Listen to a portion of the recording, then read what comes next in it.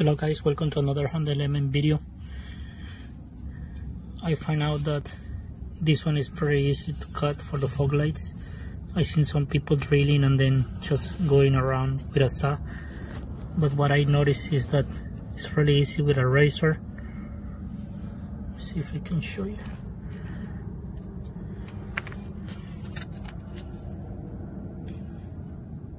The razor is just gonna go around these channels right here. Around here.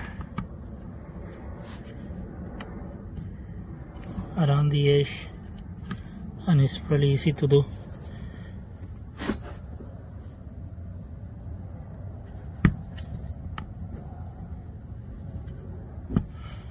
So you can go around like this like this. I will show you how it looks really easy Just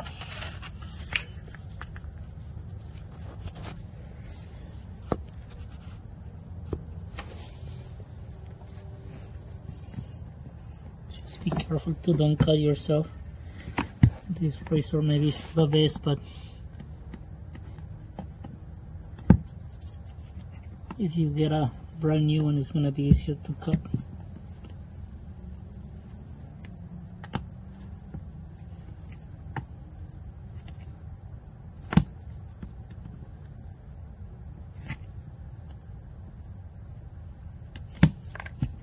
See it's almost cut and this is not a new razor. I already used it in the other side so if I had a new one it's gonna be way easier.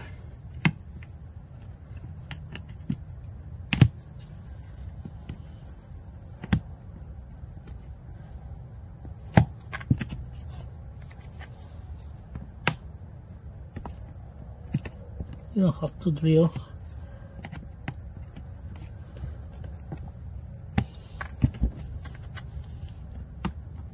getting there. Looks like the like that channel over there is is like softer than the middle part you see?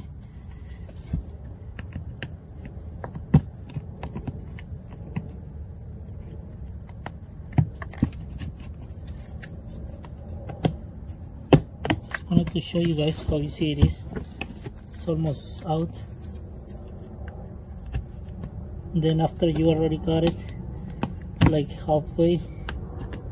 The rest is piece of cake.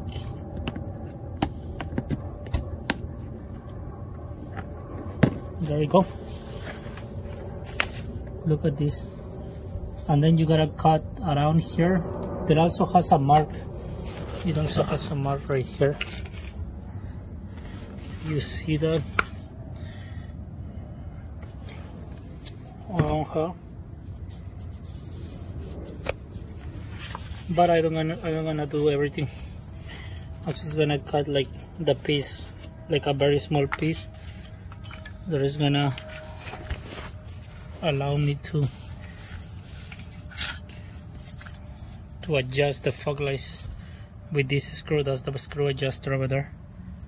So you gotta cut an extra window here.